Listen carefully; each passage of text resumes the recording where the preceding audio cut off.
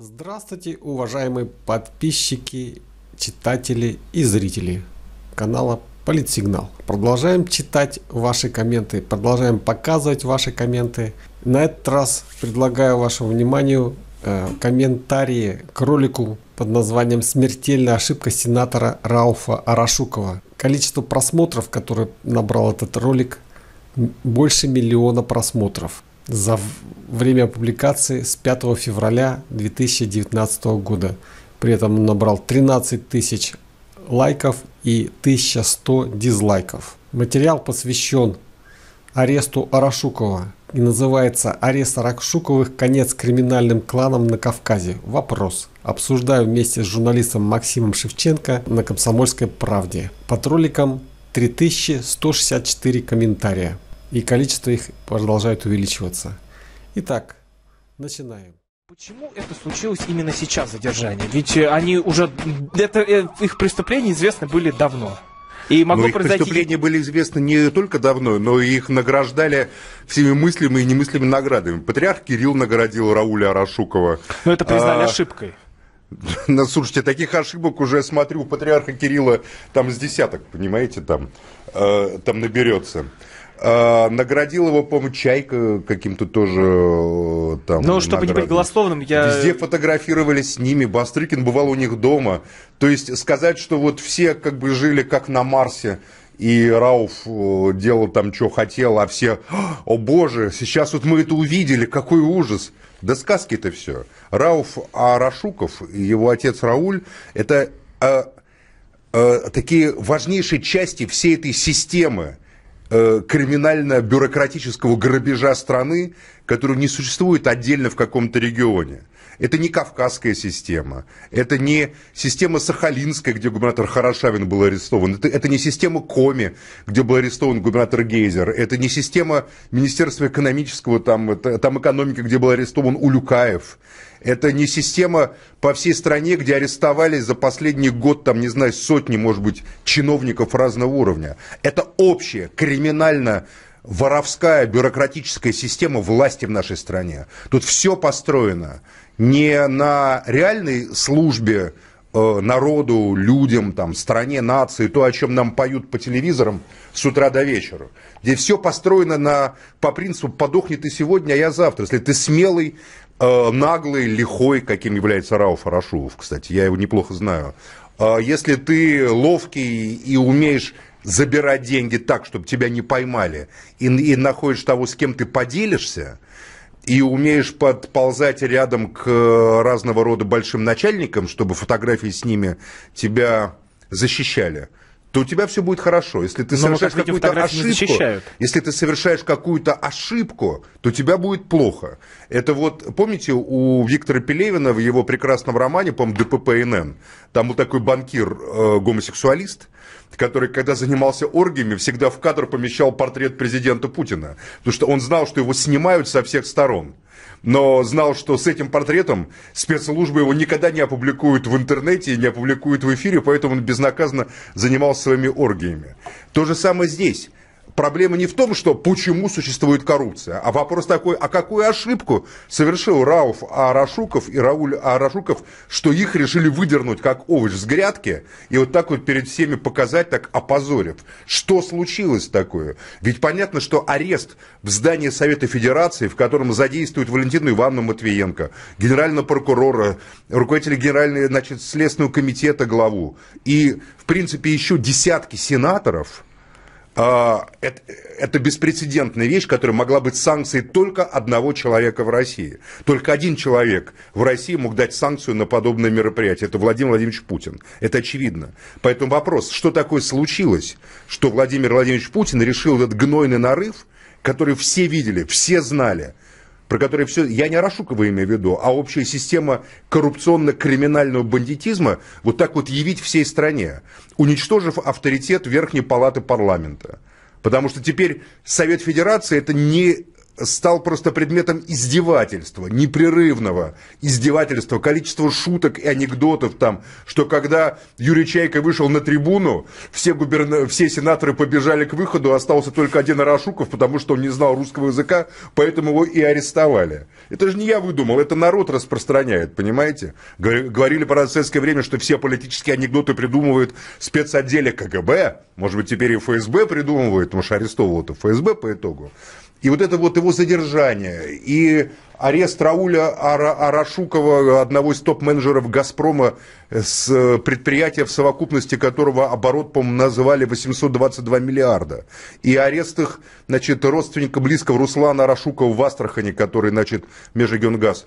А вот вопрос главный. Почему это случилось именно сейчас и в таком виде? А то, что все они воруют. То, что эта вся система поставлена на то, чтобы вытягивать силы, жизненные силы, кровь, душу, будущее из нашего многонационального народа, что всякий человек, который одевает костюм, садится, там, не знаю, в машину, приобретает какую-нибудь корочку, полагает себя вправе быть грабителем, бандитом и разбойником, прикрываясь высокими словами о государстве и о лояльности первому лицу. Это мы и так знали что такое случилось, что у них внезапно сломалась а эта у вас схема. есть ответ на вопрос, что случилось?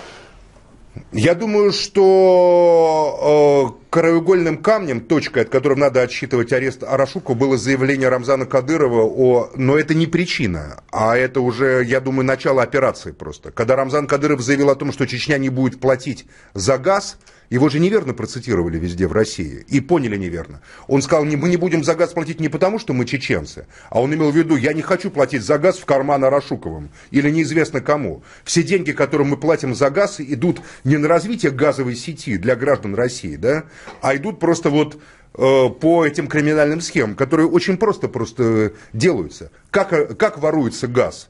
Межрегионгаз это прекрасно знал всегда. У вас есть два тарифа для предприятий и для частных лиц. Вот предприятия оплачивают газ по тарифам частных лиц, которые меньше. А потом на этих же частных лиц, то есть на нас с вами, списывают все эти долги. А на самом деле стараются, большинство людей таким образом стараются разделять значит, э, вот эти счета и фактически уворовывают. Не люди потребляют газ в основном, в таких количествах, а заводы, теплицы, фабрики, там какие-то предприятия и так далее, которые стараются уводить из этих оплат. И второй способ воровства за газ – это разделение платежек, когда там внутри то, чем, собственно, вот занимался Межрегионгаз, там, по крайней мере, в этом регионе, то, о чем известно.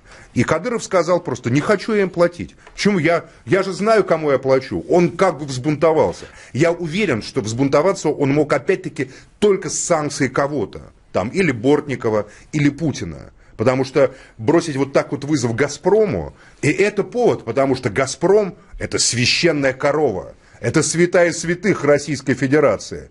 И тут кто-то отказывается платить и другие регионы. Я сразу же заявил тоже в эфире «Эхо Москвы», если Чечня не платит, мы тоже не будем платить неизвестно кому в Владимирской области. Что это мы должны платить? У нас, правда, долги в основном не предприятий, а муниципальных образований, нищих, разоренных русских городов, у которых нет денег на детские сады, школы, но которые должны огромные средства тратить за э, так называемую газификацию, которая за прошедший год, вы знаете, какой у нас процент газификации в стране? Полпроцента. На полпроцента увеличились газовые сети на полпроцента. При зарплатах топ-менеджеров корпорации, таких как Арашуков, Миллер и другие там в миллионы, сотни миллионов долларов в год а, они, а, они получают. Вот в чем проблема. А почему случилось?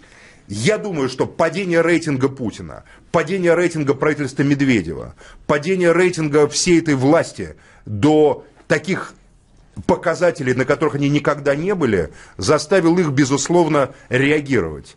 И массовая такого рода зачистка, ну, это достаточно серьезная вещь. Плюс Северный Кавказ это, ну, скажем так, в ситуации ухудшающегося международного положения, а международная ситуация всегда влияет на внутреннюю ситуацию в стране. Международная ситуация была косвенной и причиной значит, репрессий 30-х годов, потому что угроза войны. И сегодня тоже Северный Кавказ – это форпост, который будет армейским плацдармом для военного противостояния с Западом. Такие криминальные кланы можно победить, поменяв власть во всей стране. Другого способа просто нету. Пока эта власть будет существовать в своем отдельном пространстве, пока люди будут назначаться не исходя из конкуренции их проектов, там представляемых, допустим, Карачаево-Черкесии, Москве или Санкт-Петербургу, пока это будут э, закрытые клановые игры. Вы думаете, кланы есть только на Кавказе, а в Москве что, нет кланов, что ли? Вот Собянин – это не клан окружения Сергея Семеновича Собянина. А в других регионах, где понятно, что нельзя никого назначить было, где вокруг... Дело в том, что это естественно... А вообще кланы, это говорят, кланы, кланы. Клан это естественная какая-то структура но на Кавказе это общества. особенно, мне кажется. Слушайте, это и в Америке особенно. Клан Кеннеди. Нет, но мы в России Джон сейчас Кеннеди, берем. Роберт Кеннеди. Максим там, мы в России сейчас. Это не только на Кавказе. Почему на Кавказе? У, у вас Солнцевские это клан, Коптевские это, это клан, ОПГ, да. Тамбовские в Питере это клан. Нет, а тогда что мы говорим? Семья. Почему человек не может помогать своему сыну? Понимаете, я не считаю, что это нельзя ну, делать. Это такая Коза Ностра получается. Ну, у вас вот, вот сейчас вот президент США Билл Клинтон и его жена госсекретарь. Это клан Клинтонов. Вот сейчас вот Обама был, и его Мишель Обама тоже, значит, претендует на политическую позицию. Это э, нормально, когда люди держатся друг за друга, семейные вещи. Другое дело, что люди не должны нарушать закон. Люди не, не должны участвовать в коррупционных схемах. Проблема не в том, что сын помогает отцу там, или работает с племянником. И любой из нас тоже предпочитает работать с теми людьми, которым мы доверяем, тем более если речь идет о бизнесе или о каких-то серьезных вопросах. Также действует Путин. У вас есть питерский клан, где его сослуживцы по КГБ, там его руководители, там, как Степашин или Черкесов, или там его подчиненные, или коллеги, с кем он работал в мэрии Петербурга, составляют элиту современной России. Я не считаю, что это неправильно. Я считаю, что это нормально. Я бы тоже, если бы я вот действовал, я бы взаимодействовал с теми, с кем я доверяю. Там вот там с вами, Роман, допустим, там, или там еще с кем-то, понимаете, с людьми, которым я знаю, что они меня не кинут, не обманут, не предадут.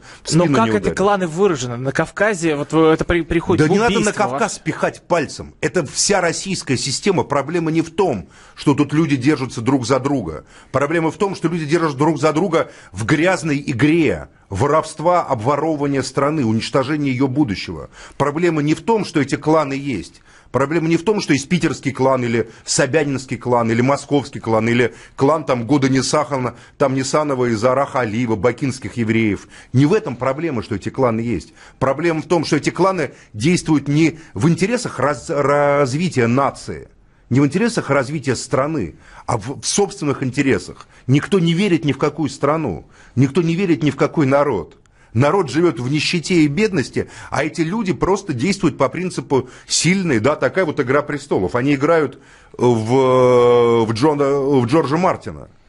Там, когда, вот когда-то я, я, я помню, в 90-е годы один политтехнолог писал им проект на, на основе романа Дюна. Мол, вот появление такого значит, такого человека, который имеет определенную харизму, вокруг него группируется, никакой демократии нету, есть, значит, сильные люди там, которые умеют там воевать, хорошо сражаться, если они при этом честные, нам с вами повезло. А если они нечестные, нам с вами не повезло, никаких законов как бы не подразумевается. Но мы-то почему должны жить в таком мире?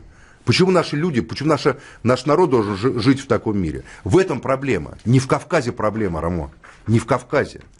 У вас по всей стране кланы, в каждом городе, в каждом регионе. Все прекрасно знают, кто кого кормит, кто за кем стоит. У нас во Владимире есть клан Аникеева, пельменного миллиардера, понимаете, который перевел сейчас бизнес в Калининград. И вот я могу назвать, какие депутаты просто на содержании у него находятся, понимаете. Это все знают во Владимирской области. Но я, но я не считаю, что лоббизм сам по себе или объединение людей вокруг каких-то точек силы – это плохо. Проблема в том, когда нет единой, проблема в том, что нет никакой единой стратегии развития страны. Просто стать сильными, стать пятой экономикой мира не работает. Для этого страна не нужна. Вы можете просто выводить деньги отсюда, вкладывать ее в лондонскую, токийскую или нью-йоркскую биржу и становиться пятой экономикой мира за счет роста ценных бумаг и ваших инвестиций. Если вы там условно говорите, я русский, зарегистрироваться там в России, потом на Кипре, потом на Каймановых островах, а если говорить о стране как о совокупности людей, которые обладают разными взглядами, там, разными, не, не знаю, там, национальными какими-то э, мифами, разными культурными мифами, разным социальным положением, но, но которые в целом э, двигаются вперед в будущее ради жизни своих детей, своих внуков, потомков и так далее, полагая, что они будут жить лучше, чем мы сейчас, вот тогда появляется национальный проект. Но ничего подобного же нету. Мы видим, что живут лучше там э, дети Арашукова, условно говоря, Рауф живет лучше, чем Рауль, например, да, наверное, дети Рауф, если бы его не арестовали, жили бы еще лучше, а остальные-то все живут, извиняюсь, как сказал Михаил Владимирович Леонтьев, пресс-секретарь Роснефти, поэтому мы теперь можем это повторять, если такой большой человек говорит это. Он это сказал про Венесуэлу, жопа большая жопа. А что, разве не так, что ли? Алексей нам дозвонился. Алексей, откуда вы нам звоните? А, здравствуйте, я из Калининграда. Здравствуйте, Алексей.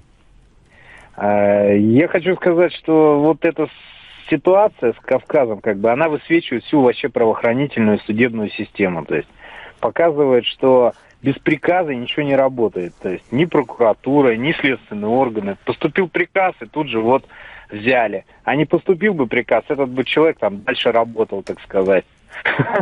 Ну, то есть э, Максим Шевченко абсолютно прав. То есть, ну, неприятно. Поэтому вопрос, как изменить, власть надо менять. Надо вести свободные выборы, конкуренция реально, чтобы места в парламенте не, не согласовывались на Старой площади, а были результатом там, конкуренции проектов, лоббистских интересов, консолидация вокруг политических партий, экономических групп каких-то, э, там концентрация капитала в равном виде. Прокуратура должна следить за тем, чтобы это не использовалось там в личных целях, э, там, не знаю, в целях захвата власти, например, там и так далее. Точно так же президентские выборы. Надо не мочить Грудинина, а надо, чтобы Путин или кто-то вышел в открытую дискуссию с Грудининым и выиграл у него в открытой дискуссии. А иначе это закрытая система псевдогосударства, псевдообщества, псевдостраны будет продолжаться. Вы же поймите, это все не настоящее. Это картонная дурилка. И из этого все эти проблемы вытекают. А когда все не настоящее, то такие коты Базилио и лисы Алисы становятся просто э, как бы главными держателями власти и смыслов. Вот они выходят, учат нас с трибун, как нам жить, говорят, что к 25 году построят нам там газопроводы, к 35 году там проведут дороги, потом их арестовывают, они с наручниками назад выводятся там, нам показывают, что у них там в домах там миллионы и триллионы каких-то там россыпи золотых золотых монет, мы говорим, ах, какой ужасный кот Базилия, лиса Алиса. Да нет, это такая э, игра, где они по-любому выигрывают. А мы все остальные такие буратины какие-то и куклы в театре, как им кажется. Но мы не такие, мы не должны же быть такими. Сергей из Москвы нам дозвонился. Сергей, здравствуйте. Добрый вечер, вернее, Сергей Алексеевич меня зовут. Значит, Сергей такой вопрос, Сергей, Максим. Да. да. Скажите, вот э, э, ваше мнение, вот то, что случилось с Тарашуковым, может быть э, причиной очередной информационной атаки против России? Вот смотрите, ведь торгово-энергетический комплекс Северного Кавказа входит в состав «Газпрома». «Газпром» известная структура. Вдруг все узнали, что там была ОПГ, да еще ну, трансгаза, если годы. формально, то не Газпрома, а Газтрансгаза. То, то да, это... а это самое Северный поток-2. И отсюда, сами понимаете, а вот как можно иметь дело с этой страной и так далее и тому подобное. Ну, вы знаете, если бы Арашукова арестовали агенты ФБР, когда он прилетал в Майами, я бы поверил в это дело. Но так как его арестовала Федеральная служба безопасности, то мы же не верим в то, что Федеральная служба безопасности, хотя я не исключаю, что там есть разные люди, как бы работают на понижение акций «Газпрома», например. Нет, я думаю, дело не в этом. Я думаю, что просто когда э, Рам, Рамзан Кадыров выступил со своим демаршем, который фактически означал «не хочу давать деньги неизвестно куда, неизвестно кому», потому что я не верю, что эти, что эти деньги расходятся на дело – на развитие газовых сетей, развитие добычи газа, на там, жиженый газ и так далее, то как бы посыпалось, все посыпалось, и тогда президент сказал, ах так, безобразие какой ужас, дал санкцию, и, слава богу, случилось то, что, может быть, приведет там, к выплате газовых долгов, к обновлению газовых сетей, к газификации. Я-то считаю вообще, что они должны просто выделить долю это в Конституции должно быть записано. Каждый, каждый гражданин России имеет право на газ, на тепло и на жизнь. Это вот должно быть записано. И в бюджете государства должно быть просто выделена строка «Обязательная газификация каждого села, каждого дома, каждого города».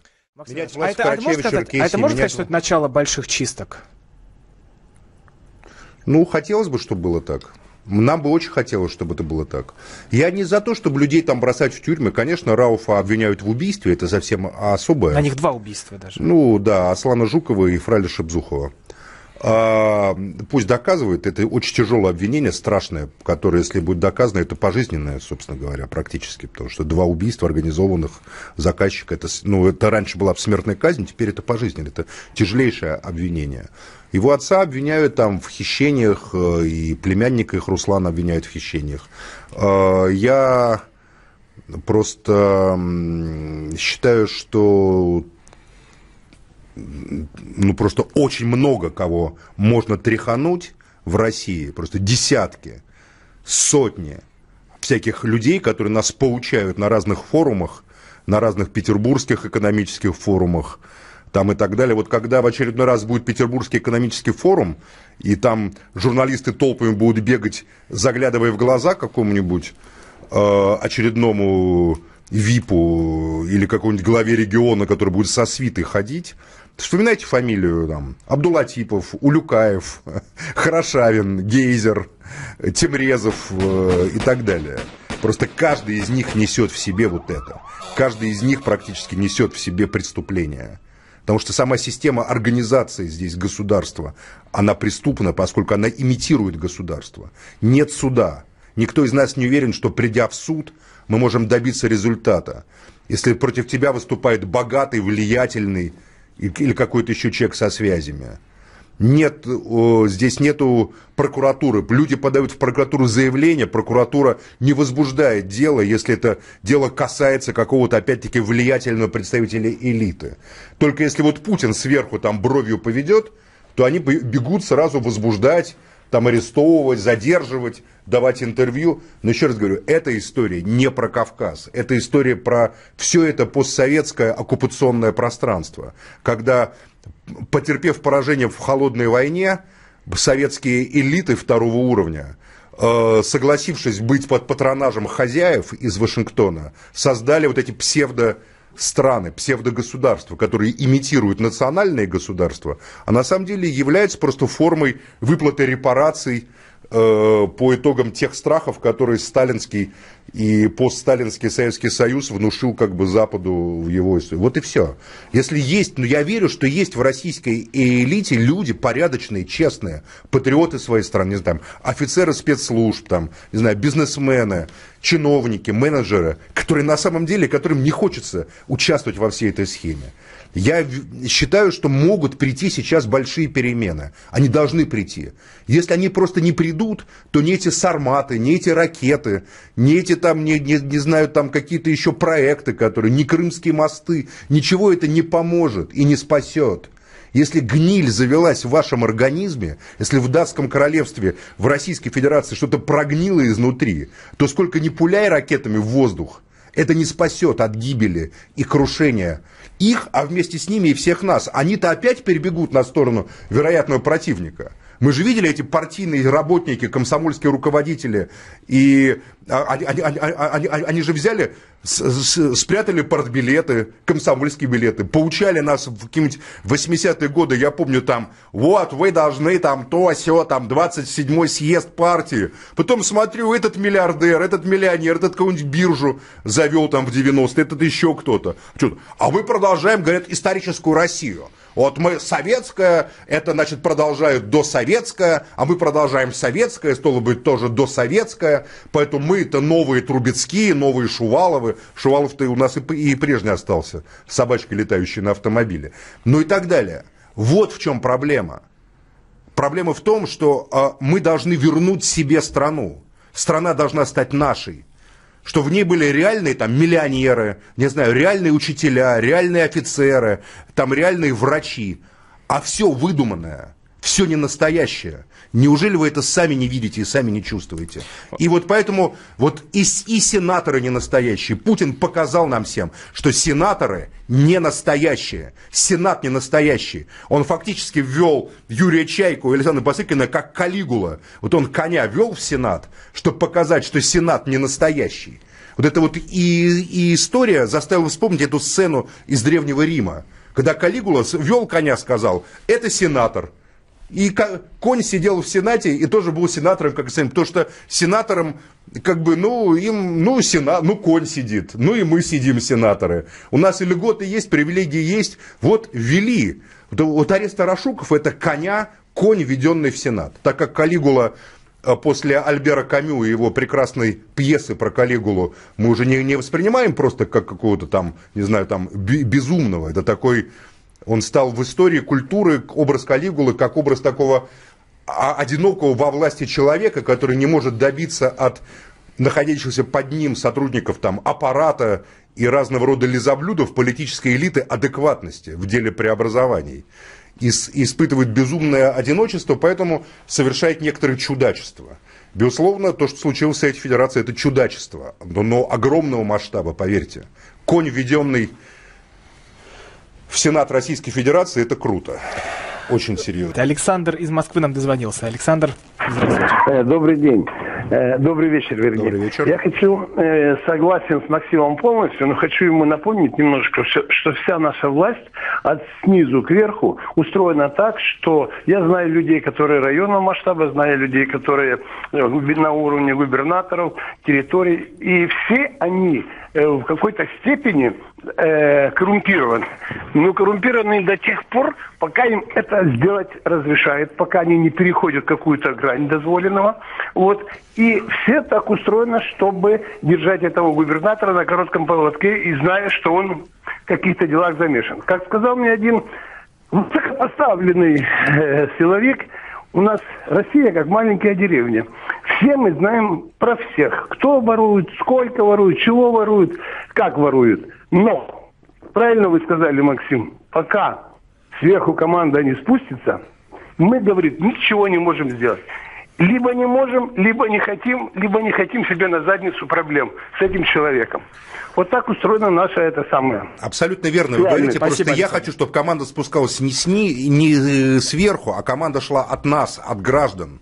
Мы, граждане, должны сказать, это больше терпеть нельзя. Ну, это, это вы понимаете, это уже длится не один десяток лет. Сломить это через колено не получится, потому что... Так нет, через колено это не получится, но надо бороться. Просто смотрите, дальше что будет? Дальше будет новый 91 год, где как бы да, они...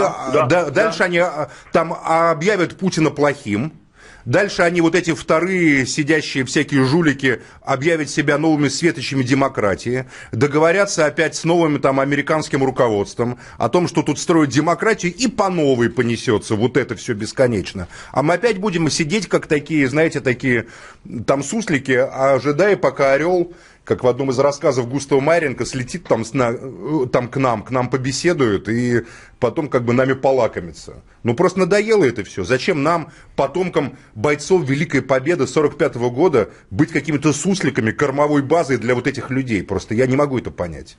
Максим Иванович, э, спрашивают в чате, а вы за возвращение вышки, ну, значит, смертной казни? Да не в этом, не не не в, не в этом решение. Любое пожизненное хуже вышки. Я против пожизненного, потому что это гораздо более жестокая, извращенная, садистская мера, чем смертная казнь. Человек, лишающийся, решающий на преступление, смерти-то не боится. Поэтому его, лишая смертной казни, на самом деле обрекают на гораздо более жестокую, мучительную пытку под названием пожизненное заключение, где его всю жизнь, до конца жизни будут ломать, превращать в безвольное, послушное животное с таким парализованным мозгом. Над ним будет издеваться любая, там, а, там любой охранник – и все будут говорить, так ему и надо. Это же страшнее, чем выйти на гильотину, чтобы тебе голову отрубили, и все кончено. Максим Иванович, вот вы говорите, что это история Рашуковых, это не дело Кавказа, но дело целой России. Мы позвонили писательнице Марии Арбатовой. Давайте послушаем ее мнение об этой Давайте. истории. А можем включить? Писатель, писательница Мария Арбатова. Как бы она обиделась, да, если бы знала, что вы называете ее писательницей. Она писатель, писатель. писатель Мария Арбатова. Да.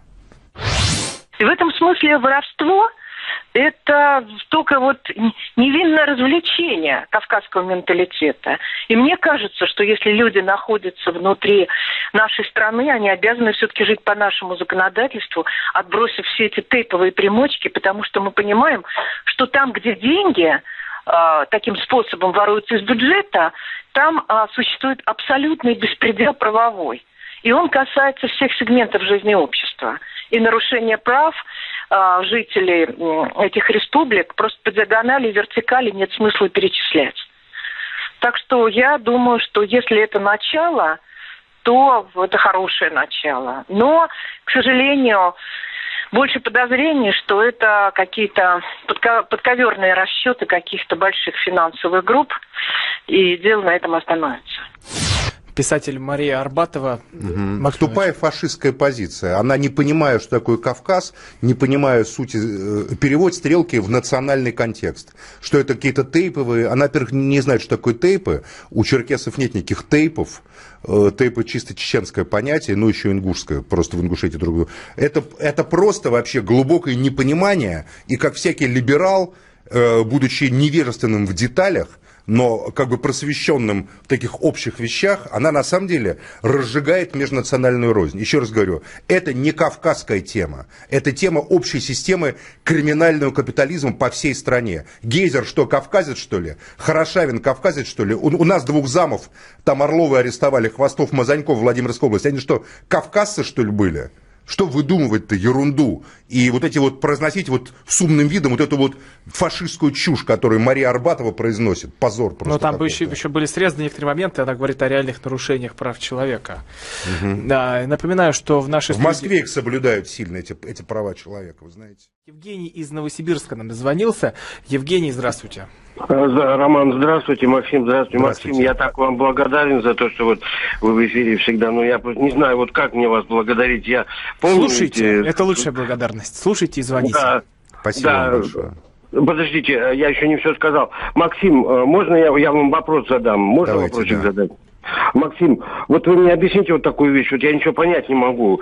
Значит, ну а почему Путин пожестче не спросит со своих подчиненных, чтобы вот э, такие вот действия не, не наступали? Вот а прокомментируйте, пожалуйста, спасибо. С удовольствием. Спасибо. Вся эта система организации российского государства является следствием концепции, которые они применили о том, что сильные и как бы властные люди, достаточно жестокие в чем-то, ну, люди, которые как бы и умеют жить на широкую ногу, и умеют брать то, что хотят, и умеют защищать то, что хотят, и умеют договариваться, как сказал Владимир Владимирович Путин, подобно правилам, которые существуют на Питерской улице, где, как он сказал, мы все росли, что эти люди являются основой и фундаментом любого государства просвещенного. Они это, на самом деле, американская модель, потому что в Америке есть семьи, ну, там, условно говоря, там 200 семей, которые их называют old money, к, ним добавились те, кто э, поднялся там на Великой депрессии, Кеннеди, например,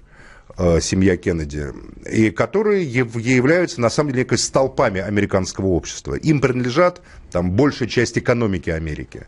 Но в Америке к этой власти семей добавляются еще демократия, свобода печати, свобода инвестиций в средства массовой коммуникации, достаточно независимый суд, которым, конечно, тоже есть критикуют его целые там плеяда великих фильмов снято там, да, про этот, там, Пол Ньюман снимал, там, адвокат, допустим, процесс, что богатый побеждает. Но есть и другие примеры. Есть огромный контроль общества за жизнью людей, э, за жизнью денег. И деньги не господствуют в Америке в той мере, в какой они господствуют в России. Только в России господствуют не просто деньги, а в России господствуют еще погоны и силовой ресурс. А, поэтому в этом проблема. Они имитируют американское общество, объявляя себя такими отцами, как бы держателями общества. А по сути они э, э, не создавая систему противовесу собственной власти, демократические системы, там, свобода слова, подавляя и ущемляя их, они создают жуткую такую тиранию, тиранию э, сильных и опасных людей, которые контролируют собой всю страну, все ее жизненные пути, соки, но сами не вкладываются в развитие страны, потому что человеческая природа такова. И Путин ей является одним из конструкторов этой системы. Не он один ее сделал. Это на самом деле ельцинизм модифицированный, потому что сама система создавалась в два этапа.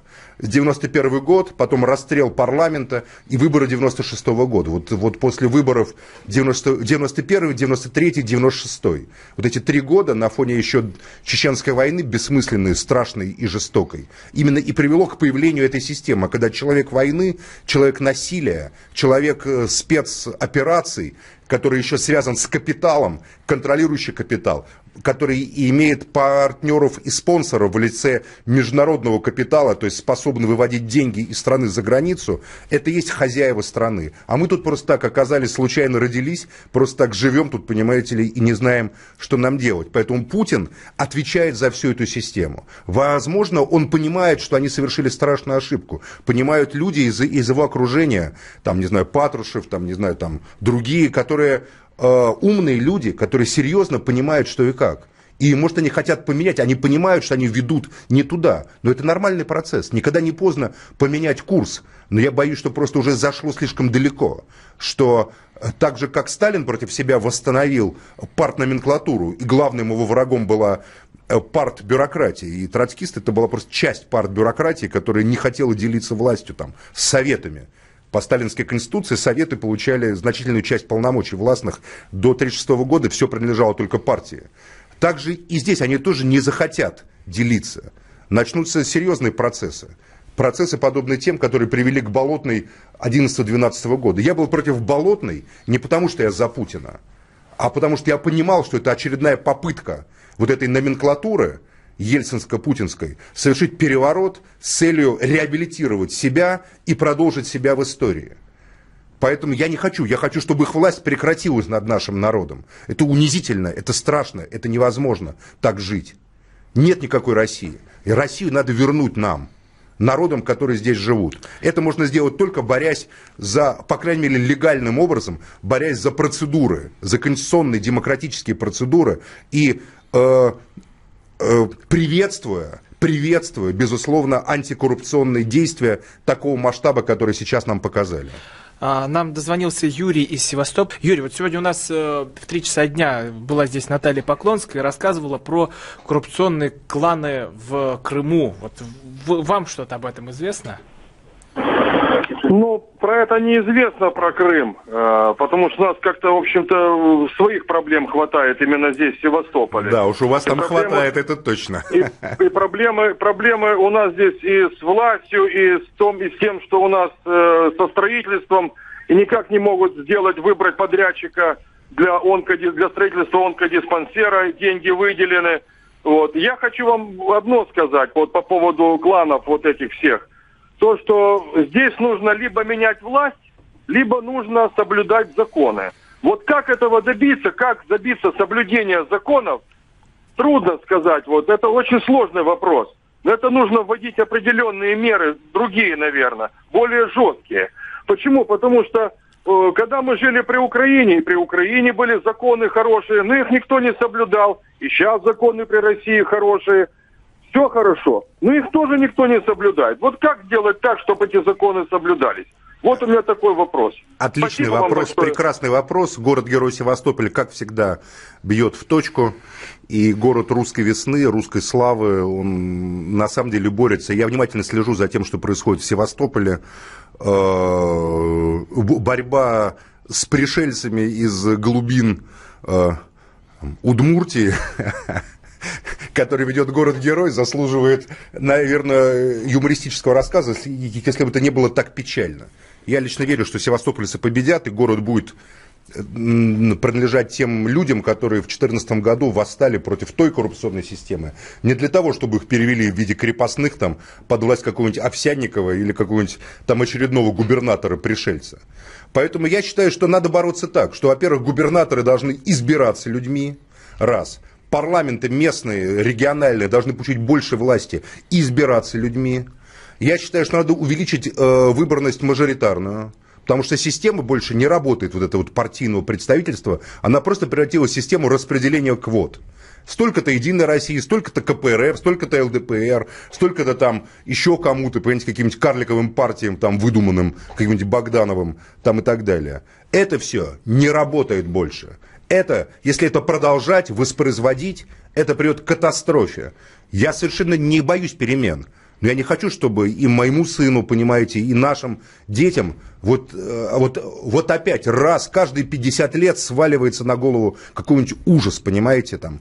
Поколению послереволюционному только там из соломенных хижин выбрались, сели там на трактора, на самолеты, пришла страшная война истребительная. Только эти пришли, как говорится, послевоенное поколение в себя пришло. Пришла перестройка и вот все, что случилось. И сейчас опять каждые 30-40 лет... А от чего эти циклы зависят? Я думаю, эти циклы зависят от э, деградации правящей элиты, которая получает такую власть, не имея под собой институтов, контроля со стороны народа. Понимаете? Одна и та же модель воспроизводится. Бояре сидят в Тушинском лагере с очередным Лжедмитрием II, а, а, а народ должен сам защищать свою родину. Кузьма Минин и Дмитрий Пожарский собираются и освобождают Москву, выгоняют поляков, их пособников из правящих элит, которые по всей стране, как говорится, уже думают, как им продать там какому-нибудь очередному Казимиру или Сигизмунду в новом обличии свою родину, чтобы стать боярами не при Москве, там, а при, там, не, не знаю, Краковском дворе королевском, например. В этом проблема вся. То есть пока до тех пор, пока мы не создадим реально институты действующей демократии, народной демократии, я не говорю там про коммунизм или какой-то ну, вот антикоммунизм. Пишут, э, Максим, вы забыли, что при Ельцине избирались все, и что? Да кто все? Чего вы сказки рассказываете? Парламент был расстрелян из танков, а как проходили выборы 96 -го года, они сами не стесняются признаваться. Мы делали, мы делали все, нарушая закон, лишь бы Зюганов не победил, лишь бы не было реставрации. Вот, они же все вам рассказывают, никаких выборов не было. С 93 -го года не было никаких свободных выборов. Вот такая вот интересная дискуссия получилась в студии «Комсомольская правда» журналиста Максима Шевченко и ведущего Романа Голованова. Я так понимаю, что Максима Шевченко заводить не надо. Он и сам заводится с полоборота. Тем более, что тема ему очень знакома, и ему есть что поведать и рассказать нам.